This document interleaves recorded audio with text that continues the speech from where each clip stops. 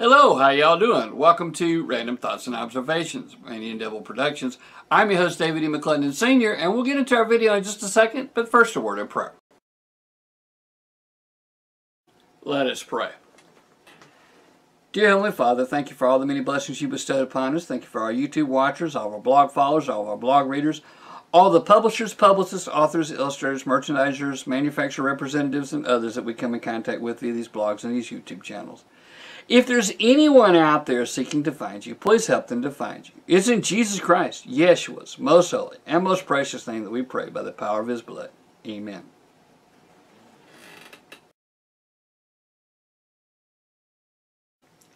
Annie Russo, Proposals and Proclivities. It's by J.L. Bauman.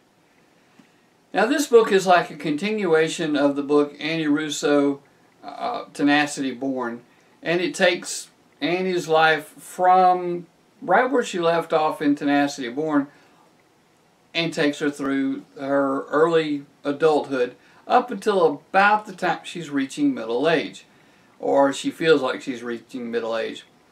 The book paints a beautiful word picture. It describes in so much detail that you could actually see what the characters are saying. You actually know more about the characters than you do in a lot of these more modern day novels or other books, you actually know more. You actually can feel what the different characters are feeling. You can actually develop a relationship with the different characters.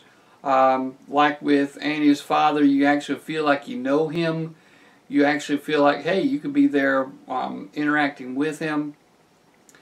Now, the, the author paints such vivid pictures in your mind, it reminds me of Tolstoy.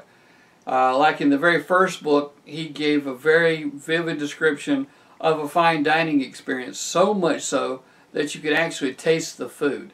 And uh, he does describe a buffet dinner in here, but not as in as much detail as he described with the shrimp cocktail and the desserts and that sort of thing in the uh, the original.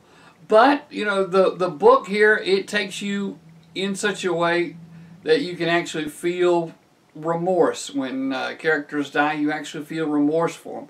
Uh, you feel sad, like you've lost a, a family member or a friend. And you actually see maybe what's going through the mind of the uh, extra characters, the additional characters, the supporting actors or whatever. You actually can see into their minds a little bit with the different descriptions that you get.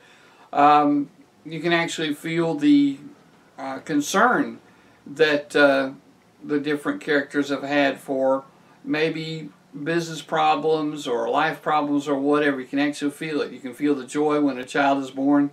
You can feel the grief and remorse when uh, one of the characters dies. And uh, it's just so well written, so well described that you can't help. You really can't help but feel like this is a part of your life. Like it's not a book you've read, but like it's, you know, a chapter of your own life. It's not like uh, some of this mind Play-Doh that you see where it's all about sex or whatever. In this book, there's some uh, intimate scenes, but it's not graphic.